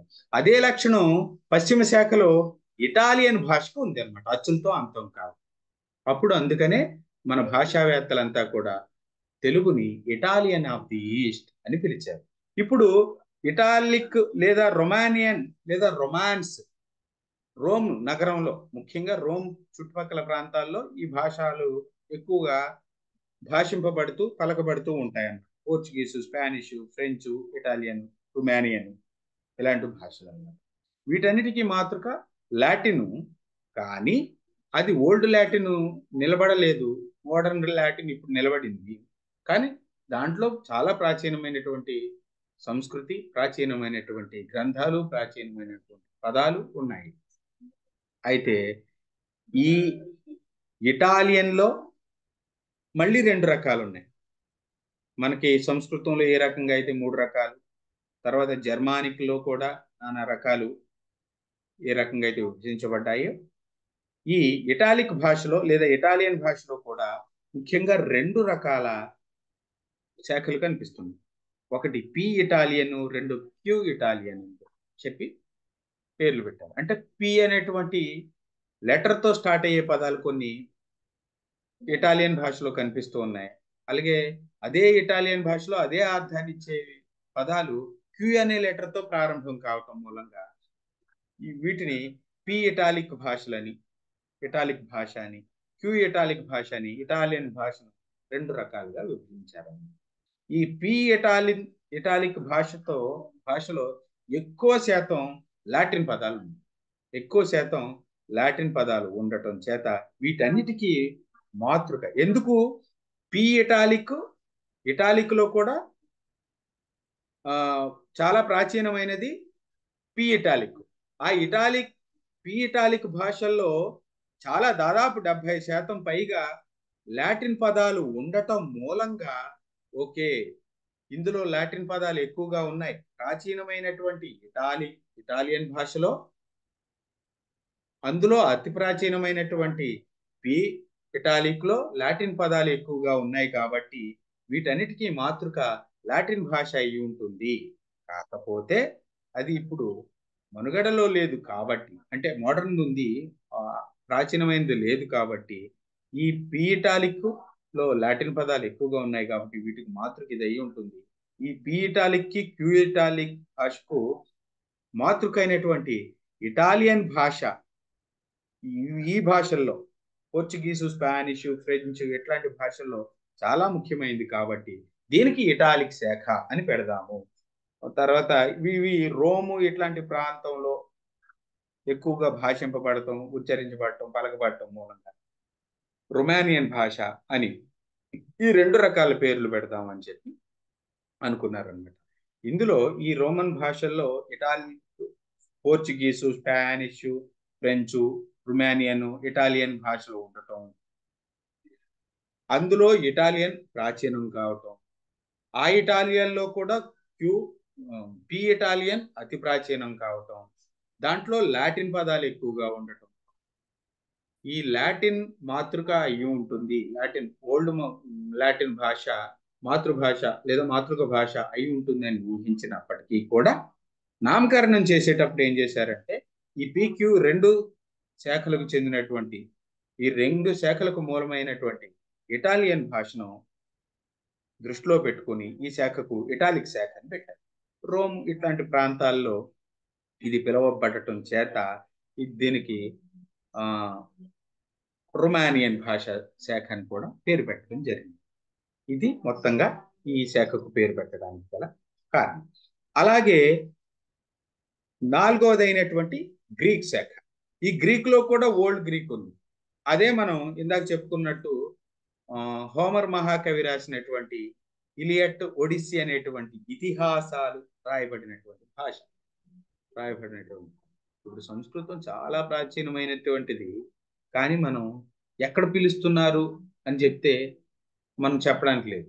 ముఖ్యంగా మీకు ద్రావిడ భాషల్లో ఎక్కువ కనిపిస్తుంది. చెప్తాను చూడండి. ఉదాహరణ చెప్తాను. కాస్త మీకు ఏమంటారు?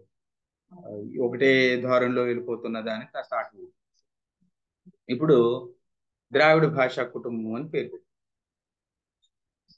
ఏదో ఇండో యూరోపియన్ భాషా కుటుంబం అని పేరు పెట్టారు. లేదా ఇరానియన్ భాషా కుటుంబం అని పెట్టారు. ఆర్మేనియన్ భాషా కుటుంబం భాషా శాఖ అని బాల్టోస్లావిక్ అని లేదా జర్మానిక్ అని పేరు పెట్టారు. వాటిల్లో జర్మానిక్ భాషా కుటుంబం శాఖలో జర్మాన్ భాష ఉంది. అలాగే ఇటాలిక్ శాఖలో ఇటాలి ఇటలీ భాష ఉంది ఇటాలియన్ భాష ఉంది. అలాగే ఇండో ఆర్యన్ భాషా కుటుంబం శాఖలో సంస్కృతం ఉంది. ఇలా చెప్పుకుంటూ వస్తాం. వాటిని వాటిలో ప్రాచీనమైనటువంటి భాష ఏదైతే ఉంటుందో దాన్ని దృష్టిలో పెట్టుకొని ఆ శాఖకు నామకరణం చేస్తారు ఈ ద్రావిడ భాషలకు వచ్చేసరికి ద్రావిడ భాష అంటూ ప్రత్యేకంగా ఏది అంటే వీటన్నిటికీ మూలం ద్రావిడ భాష మూల ద్రావిడ భాష అయి ఉంటుంది అని చెప్పి దానికి పేరు పెట్టారు తప్పితే నిజానికి ద్రావిడ భాష అంటూ ప్రత్యేకంగా ఏది తమిళం కన్నడం మలయాళం తెలుగు తర్వాత బ్రాహ్వి కురుక్ ఇలాంటి భాషలు కుయి కువి కొలామి ఇలాంటి భాషలు ఉన్నాయి కానీ వీటన్నిటికీ మాతృక అయినటువంటి ఒక పేరు పెట్టడానికి నిజానికి తమిళ భాషా కుటుంబం అని పెట్టుండొచ్చు వీటన్నిటిలో అతి ప్రాచీనమైనటువంటిది తమిళ భాష కాబట్టి. కానీ తమిళ భాషా కుటుంబం అని పెట్టకుండా దాన్ని ద్రావిడ భాషా కుటుంబం అని పేరు పెట్టారు. దానికి కారణం కూడా చెప్తాను. కానీ ఈరోజు చూసుకున్నప్పుడు మనకి ద్రావిడ భాష ఎక్కడా లేదు. ప్రత్యేకంగా మనుగడలో లేదు. మరి ఎందుకు పెట్టుకుంటారు? అంటే తమిళం కంటే కూడా ఇంకా ప్రాచీనమైనటువంటి రూపాలు ఇంకా అతి ప్రాచీనమైనటువంటి పదాలు వాటి అర్థాలు ఇంకా చాలా మిగిలి ఉన్నాయి చాలా ఉన్నాయి తమిళం కంటే కూడా. అంటే తమిళంలో కాల ప్రవాహంలో లేదా కాల గతిలో చాలా చాలా మార్పులు వచ్చినప్పటికీ కూడా వీటన్నిటికంటే ఈ తమిళం అతి ప్రాచీనమైనటువంటిది. ద్రావిడ భాషల్లో అతి ప్రాచీనమైనటువంటిది అయినప్పటికీ కూడా వీటన్నిటికంటే అతి ప్రాచీనమైనటువంటి రూపాలు ఇంకా ఏవో ఉన్నాయి.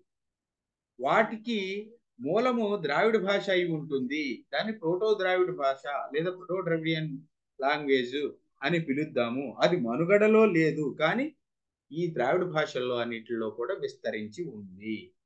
బ్రతిక ఉండకపోవచ్చు కనుక కానీ విస్తరించి ఉంది అని చెప్పి దాన్ని ద్రావిడ భాష కుటుంబం అని పేరు పెట్టారు. రూపంలో మనకు అది కనిపించదు.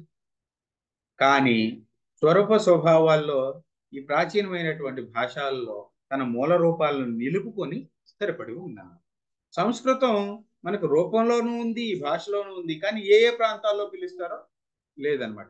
ఇలాంటి సందిగ్ధత.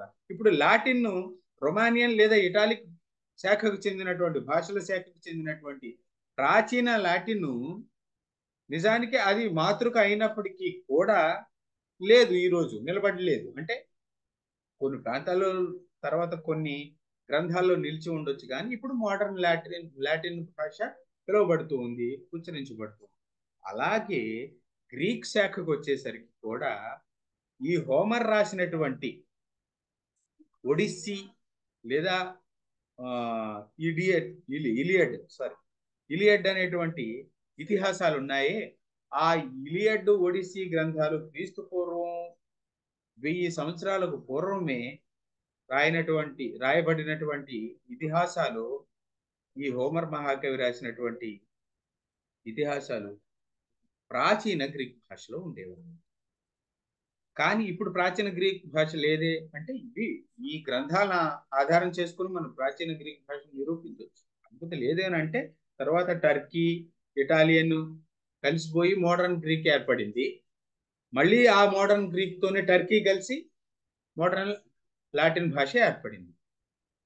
ఇందాక నేను ప్రాథమికంగా ముందు చెప్పినట్టుగా అయితే ఈ గ్రీక్ శాఖలో చాలా ప్రధానమైనటువంటిది గ్రీకు భాష అనమాట ఈ గ్రీకు భాష చాలా ప్రధానమైనటువంటి భాష. ఇది చాలా ప్రాచీనమైనటువంటిది అలాగే దీనికంటే ముందు చెప్పుకున్నటువంటి లాడ్ ఇటాలిక్ ఇట్లాంటి ఇత్యాది భాషలకు కూడా మూలము అని చెప్పదగినటువంటి భాష ఓల్డ్ లాటిన్. అంటే ప్రాచీన లాటిన్ ప్రాచీన గ్రీకు ఇవి మనకి సంస్కృతం ఎంత ప్రాచీనమైనటువంటిదో అంత ప్రాచీనమైనటువంటి. అందుకే నేను ముందు చెప్పినట్టు తత్వశాస్త్రాలు కానీ ఇదిగో ఒడిస్సీ ఇలియడ్ లాంటి ఇతిహాసాలు కానీ లేదా భాష విషయంలో కానీ సంస్కృతి విషయంలో కానీ చాలా ప్రాచీనమైనటువంటి చాలా ప్రాచీనమైనటువంటి రూపాన్ని కలిగి ఉన్నవి చాలా ప్రాచీనమైనటువంటి ఆ పద్ధతుల్ని కలిగి ఉన్నవి అని చెప్పి ఈ కాబట్టి ఈ భాషలు చాలా ప్రాచీనమైనటువంటి భాషలు అని చెప్పి చెబుతూ ఉంటారని చెప్పి నేను అన్నాను. అయితే ఇవి మన సంస్కృతం తూర్పు శాఖల్లో ఒకటైనటువంటి లేదా మన భారతీయ భాషలో ఒకటైనటువంటి సంస్కృతానికి మించినవి కావు. కావు. అయితే అందరూ ఏం చెప్తారంటే ఆ ఈ ఇప్పుడు ఏదైనా చెప్పేటప్పుడు ఈ లాటిను లేదా గ్రీకు ఇవి మాత్రం చాలా ప్రాచీనమైనవి. నేను ఇందాక మీకు చెప్పినప్పుడు తత్వ శాస్త్ర దృష్టితో చూసినప్పుడు చాలా ప్రాచీనమైనవి. అంటే మూల రూపాలను నిలుపుకున్నాయి కాబట్టి. కానీ మనకు మార్క్స్ ముల్లర్ చెప్పినట్టుగా ఈ లాటిను గ్రీకు ప్రాచీన లాటిను ప్రాచీన గ్రీకు అందులో చాలా రకాల గ్రంథాలు రచింపబడినప్పటికీ చాలా రకాల సంస్కృతి గొప్ప సంస్కృతి తత్వ శాస్త్రాలు ఉన్నప్పటికీ కూడా మన వైదిక భాష ముఖ్యంగా ఋగ్వేద భాష వీటన్నిటికంటే చాలా ప్రాచీనమైనది. ఒకవేళ ఒకవేళ పశ్చిమ శాఖలను లేదా మొత్తం ఇండో యూరోపియన్ భాషా కుటుంబాలను అధ్యయనం చెయ్యాలి అని అనుకుంటే కనుక ఖచ్చితంగా మన ఋగ్వేద భాషను అధ్యయనం చేసి మాత్రమే మిగతా భాషలను అధ్యయనం చేయాలని చెప్పి ఈయన ప్రతిపాదన చేశాడనమాట ఎలా అంటే ఆయన ఒక మాట అంటాడు. ఏమిటి అని అంటే ఈ ఇండో యూరోపియన్ భాషలను లేదా ఈ ఇండో యూరోపియన్ భాషా కుటుంబాలకు కుటుంబానికి చెందిన లేదా ఆ శాఖలకు చెందినటువంటి భాషను అధ్యయనం చేయ చేయదలిసిన వ్యక్తి ఖచ్చితంగా సంస్కృతంలో ఉన్నటువంటి ఋగ్వేద భాషను అధ్యయనం చేసిన తర్వాతనే అధ్యయనం చేయాలి. ఎందుకంటే ఈ ప్రాచీన గ్రీకు ప్రాచీన లాటిన్ అనుకున్నటువంటి అతి ప్రాచీనంగా ఇప్పటికీ చెప్పుకోబడుతున్నటువంటి భాషల కంటే కూడా అత్యంత ప్రాచీనమైనటువంటి భాష సంస్కృతము. అందులో అత్యంత ప్రాచీనమైనటువంటిది వైదిక భాష అందులో ఇంకా అత్యంత ప్రాచీనమైనటువంటిది ఋగ్వేద భాష. కాబట్టి దానిని అధ్యయనం చేయకుండా మిగతా ఏ భాషను అధ్యయనం చేసినా కూడా అది ఎలాంటిది అవుతుంది అని అంటే ఎలాంటిది అవుతుంది అని అంటే మనకు ఏమంటారు జ్యోతిష్ శాస్త్రాన్ని లేదా ఖగోళ శాస్త్రాన్ని అధ్యయనం చేసేటువంటి వ్యక్తి గణిత శాస్త్రాన్ని అధ్యయనం చేయకుండా చేసేటువంటి పరిశోధన. ఖగోళ శాస్త్రాన్ని లేదా జ్యోతిష్ శాస్త్రాన్ని అధ్యయనం చేయాలంటే ముందు అతనికి లెక్కలు తెలిసి ఉండాలి. లెక్కలు కట్టగలగాలి. అంటే అతనికి గణిత శాస్త్రం తెలిసి ఉండాలి. గణిత శాస్త్రం లేకుండా ఖగో ఖగోళ శాస్త్రాన్ని లేదా జ్యోతిష్ శాస్త్రాన్ని లెక్కలు కట్టడం అంచనా కట్టడం చేసే వ్యక్తి ఎలాంటి వాడు అని అంటే లేదా గ్రీ మన సంస్కృతంలోను లేదా సంస్కృతంలోను వైదిక భాష అయినటువంటి ఋగ్వేద భాషను అధ్యయనం చేయకుండా ఇండో యూరోప్ యూరోపియన్ భాషా కుటుంబంలోని భాషలను అధ్యయనం చేసే వ్యక్తి ఖగోళ శాస్త్రాన్ని మ్యాథమెటిక్స్ లేదా గణిత శాస్త్రాన్ని అధ్యయనం చేయకుండా ఖగోళ శాస్త్రాన్ని అధ్యయనం చేసే వ్యక్తి లాంటి వాడు.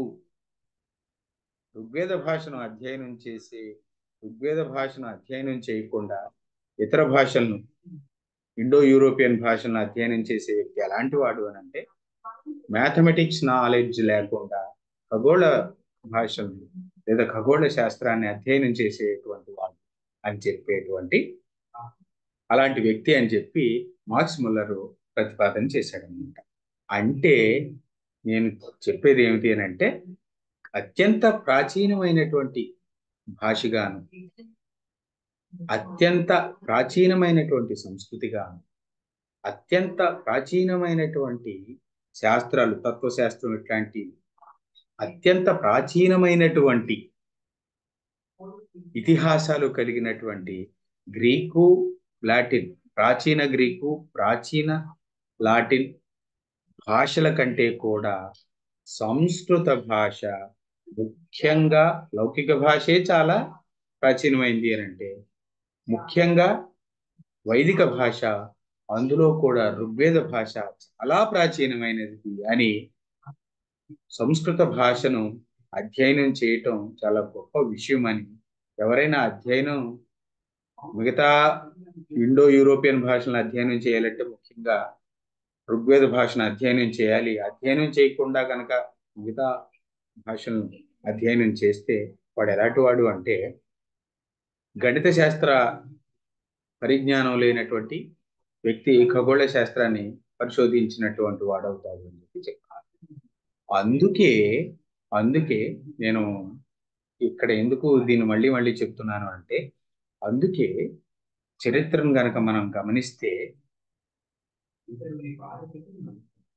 ప్లేటో శిష్యుడైనటువంటి అరిస్టాటిల్ అరిస్టాటిల్ శిష్యుడైనటువంటి మన అలెగ్జాండర్ ఇండియా మీద దండయాత్ర చేయడానికి వచ్చేటప్పుడు ఇండియా వచ్చేసాడు వద్దని వచ్చేటప్పుడు గురువు దగ్గరికి వెళ్ళి నేను ఇలాగ భారతదేశం మీద దండయాత్ర చేయదలిచాను. నేను నన్ను ఆశీర్వదించండి అని చెప్పి అరిస్టాటిల్ దగ్గరికి వచ్చి అతను అలెగ్జాండర్ ఆశీస్సులు తీసుకున్నాడు. అప్పుడు అరిస్టాటిల్ నువ్వు ఏ దేశం మీదైనా దండయాత్ర చెయ్యి. ఏ దేశం మీదైనా దండయాత్ర చెయ్యి. కానీ అత్యంత ప్రాచీనమైనటువంటి సంస్కృతి అత్యంత ప్రాచీనమైనటువంటి భాష అత్యంత ప్రాచీనమైనటువంటి గ్రంథాలు అత్యంత ప్రాచీనమైనటువంటి ఆహార వ్యవహారాలు లేదా ఆచార వ్యవహారాలు ఆహార్య వ్యవహారాలు కలిగినటువంటి భారతదేశం మీద మాత్రం దండెత్తద్దు అని చెప్పి అరిస్టాటిల్ చెప్పారు అరిస్టాటిల్ అలెగ్జాండర్ చెప్పాడు. చెబితే అలెగ్జాండర్ వినకుండా వచ్చేసాడు దండ దండయాత్ర చేసుకుంటూ వచ్చేసాడు అయితే తన గురువు అయినటువంటి అరిస్టాటిల్కి దండయాత్ర ప్రారంభించిన తర్వాత ఒక లేఖ రాశాడు అనమాట నేను ఇలాగ మీరు చెప్పారు? కానీ అత్యుత్సాహంతో నేను భారతదేశం మీద దండయాత్ర చేస్తూ వచ్చాను. ఇక్కడికి వచ్చాను. ఇక్కడ నేను యుద్ధం చేశాను ఓడిపోయాను అని చెప్పి లేఖ రాశాను తిరుగు ప్రయాణం అయ్యేటప్పుడు మధ్యలోనే చనిపోతాడు అది వేరే విషయం అనుకోండి. అది లేఖ రాశాడు. అది చదివినటువంటి అరిస్టాటిల్ మళ్ళీ తిరిగి లేఖ రాస్తూ అలెగ్జాండర్ నేను చెప్పాను వెళ్ళొద్దు అని. అది చాలా పవిత్రమైనటువంటి భూమి అయ్యా వేద భూమి అక్కడికి నేను నిన్ను వెళ్ళొద్దంటే కూడా నువ్వు నా మాట వెళ్ళకుండా వెళ్ళి. సరే వెళ్తే వెళ్ళావు.